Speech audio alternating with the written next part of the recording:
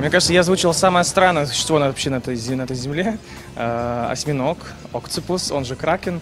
Э, честно признаюсь, э, это не озвучка, это дубляж все-таки. Я пел, я не говорил за персонажа. Я говорил музыкально, так скажем. Но это было, правда, нелегко. Нелегко, потому что ты не понимаешь... Ты не смотрел фильм, да, вот мультфильм от начала до конца, вот этот выпуск, эту серию, этот сезон. Ты не понимаешь, как он здесь раскроет себя. Потому что предыдущий я смотрел, я обожаю этот мультик.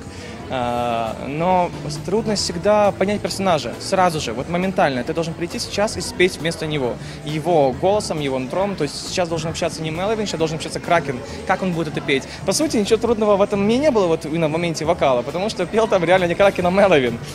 Вот. Это был единственный большой плюс, а так было нелегко где-то за месяц, вдруг мне позвонили и сказали, что мы хотим пригласить Меловина озвучить, э, дублировать мультфильм э, «Свинога». Я с командой, вот мы сидели в себе с Меловин, думали, как же будет называться мой следующий альбом, второй, который будет уже совсем-совсем так скоро.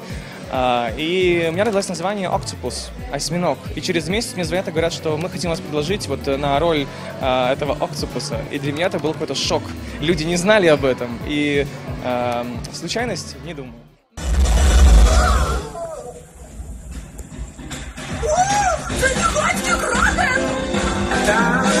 Сяє на дні, на величезній глибині, шлях у темряву лежить тобі і мені.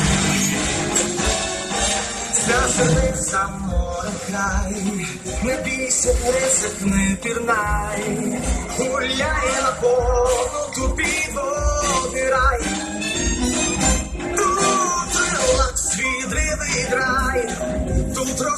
experiência caldrà Turbo che si sa.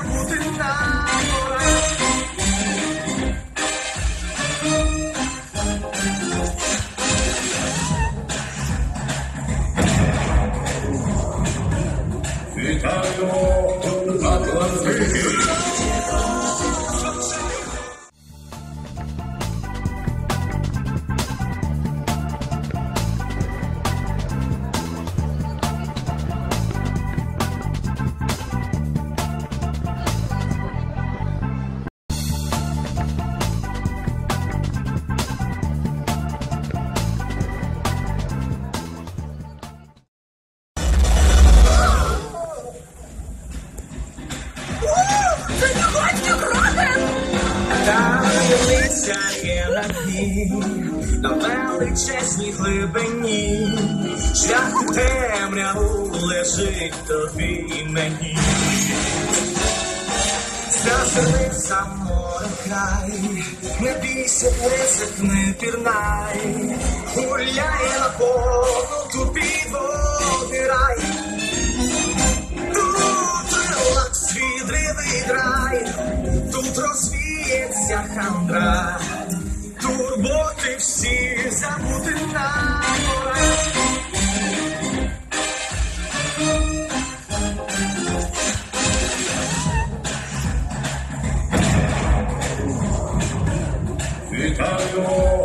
Atlantic.